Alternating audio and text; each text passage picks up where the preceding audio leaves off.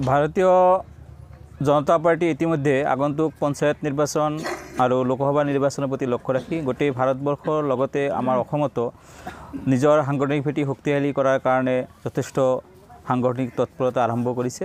আৰু তাৰ অংশ হিচাপে আমিও গৰাইমাৰী মণ্ডলৰ তৰফৰ পৰা আমি আমাৰ অঞ্চলত বিভিন্ন পঞ্চায়তত আমি আগন্তুক পঞ্চায়ত নিৰ্বাচন জিকিব পৰাকৈ যাতে আমাৰ সাংগঠন শক্তিশালী হয় সেইবাবে আমি সাংগঠনিক কাম কাজ আৰম্ভ কৰিছোঁ আৰু বিভিন্ন ব্যক্তিক আমি লগ ধৰি আমাৰ ভাৰতীয় জনতা পাৰ্টীত যোগদান কৰাৰ কাৰণে আমি আহ্বান জনাই আহিছোঁ আৰু সেই তাৰে সুফল হিচাপে আজি আমাৰ গৰাইমাৰী মণ্ডলৰ উদ্যোগত আমাৰ মণ্ডল কাৰ্যালয়ৰ সন্মুখত এইটো যোগদান সভা অনুষ্ঠিত কৰা হ'ল আৰু এই যোগদান সভাত আমাৰ প্ৰায় চাৰিখন গাঁও পঞ্চায়তৰ বাতাহিদিয়া মাজৰটোপ টুকুৰাপাৰা আৰু আচলপাৰা গাঁও পঞ্চায়তৰ প্ৰায় তিনিশ ব্যক্তি আজি ভাৰতীয় জনতা পাৰ্টীত যোগদান কৰিলে আৰু তাৰ ভিতৰত মুখ্য হিচাপে আমাৰ বাতাহিদিয়া গাঁও পঞ্চায়তৰ সভাপতি মাননীয় আলতাফ হুছেইন ডাঙৰীয়া আৰু তেখেতৰ লগত থকা পাঁচজন গাঁও পঞ্চায়তৰ সদস্যই আজি ভাৰতীয় জনতা পাৰ্টীত যোগদান কৰিলে। মই এইটোৱে ক'ব খুজিম যাৰ খাইছোঁ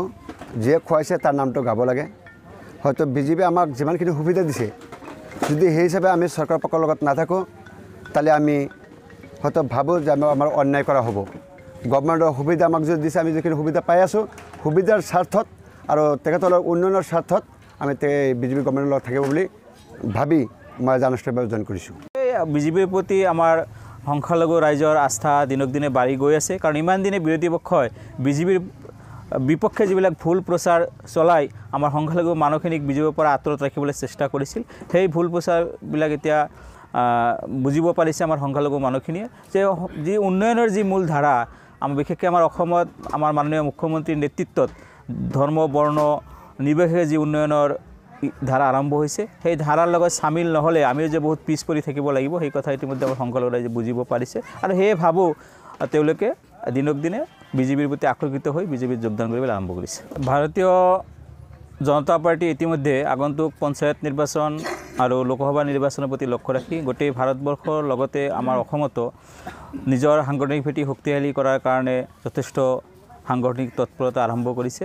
আৰু তাৰ অংশ হিচাপে আমিও গৰাইমাৰী মণ্ডলৰ তৰফৰ পৰা আমি আমাৰ অঞ্চলত বিভিন্ন পঞ্চায়তত আমি আগন্তুক পঞ্চায়ত নিৰ্বাচন জিকিব পৰাকৈ যাতে আমাৰ সাংগঠন শক্তিশালী হয় সেইবাবে আমি সাংগঠনিক কাম কাজ আৰম্ভ কৰিছোঁ।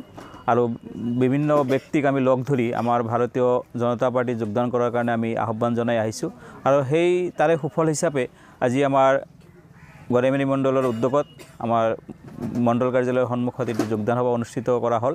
আৰু এই যোগদান সভাত আমাৰ প্ৰায় চাৰিখন গাঁও পঞ্চায়তৰ বাতাহিদিয়া মাজৰটোপ টুকুৰাপাৰা আৰু আচলপাৰা গাঁও পঞ্চায়তৰ প্ৰায় তিনিশ ব্যক্তি আজি ভাৰতীয় জনতা পাৰ্টীত যোগদান কৰিলে আৰু তাৰ ভিতৰত মুখ্য হিচাপে আমাৰ বাতাহিদিয়া গাঁও পঞ্চায়তৰ সভাপতি মাননীয় আলতাফ হুছেইন ডাঙৰীয়া আৰু তেখেতৰ লগত থকা পাঁচজন গাঁও পঞ্চায়তৰ সদস্যই আজি ভাৰতীয় জনতা পাৰ্টীত যোগদান কৰিলে। মই এইটোৱে ক'ব খুজিম।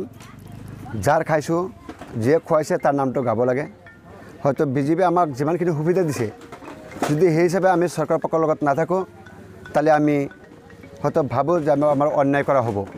গভৰ্ণমেণ্টৰ সুবিধা আমাক যদি দিছে আমি যিখিনি সুবিধা পাই আছোঁ সুবিধাৰ স্বাৰ্থত আৰু তেখেতসকলৰ উন্নয়নৰ স্বাৰ্থত আমি বিজেপি গভৰ্ণমেণ্টৰ লগত থাকিব বুলি ভাবি মই আনুষ্ঠানিকভাৱে জইন কৰিছোঁ। এই বিজেপিৰ প্ৰতি আমাৰ সংখ্যালঘু ৰাইজৰ আস্থা দিনক দিনে বাঢ়ি গৈ আছে। কাৰণ ইমান দিনে বিৰোধী পক্ষই বিজেপিৰ বিপক্ষে যিবিলাক ভুল প্ৰচাৰ চলাই আমাৰ সংখ্যালঘু মানুহখিনিক বিজেপিৰ পৰা আঁতৰত ৰাখিবলৈ চেষ্টা কৰিছিল সেই ভুল প্ৰচাৰবিলাক এতিয়া বুজিব পাৰিছে আমাৰ সংখ্যালঘু মানুহখিনিয়ে যে যি উন্নয়নৰ যি মূল ধাৰা আমাৰ বিশেষকৈ আমাৰ অসমত আমাৰ মাননীয় মুখ্যমন্ত্ৰীৰ নেতৃত্বত ধৰ্ম বৰ্ণ নিৰ্বিশেষে যি উন্নয়নৰ ধাৰা আৰম্ভ হৈছে সেই ধাৰাৰ লগত চামিল নহ'লে আমিও যে বহুত পিছ পৰি থাকিব লাগিব সেই কথা ইতিমধ্যে আমাৰ সংখ্যালঘু ৰাইজে বুজিব পাৰিছে। আৰু সেয়ে ভাবোঁ তেওঁলোকে দিনক দিনে বিজেপিৰ প্ৰতি আকৰ্ষিত হৈ বিজেপিত যোগদান কৰিবলৈ আৰম্ভ কৰিছে।